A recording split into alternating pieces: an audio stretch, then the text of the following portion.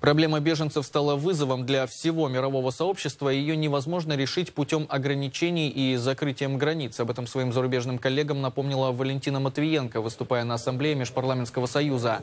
Очередное заседание в Женеве посвятили проблеме массовой миграции. Как подчеркнула спикер Российского Совета Федерации, необходимо бороться с причинами этого кризиса. И прежде всего сообща искоренять терроризм на Ближнем Востоке. Валентина Матвиенко призвала западные страны не отказываться от диалога со своими восточными партнерами, а как можно скорее объединить с ними усилия на базе уже созданных в регионе организаций.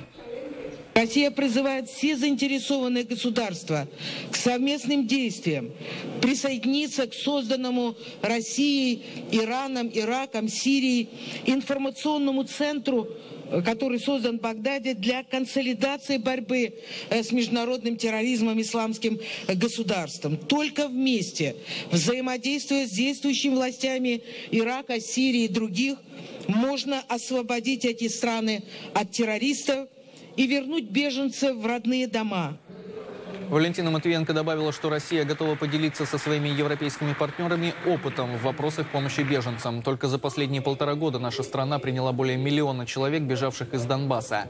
Спикер Софеда еще раз подчеркнула, Евросоюзу и России необходим открытый диалог, а не язык взаимных санкций и дипломатических выпадов.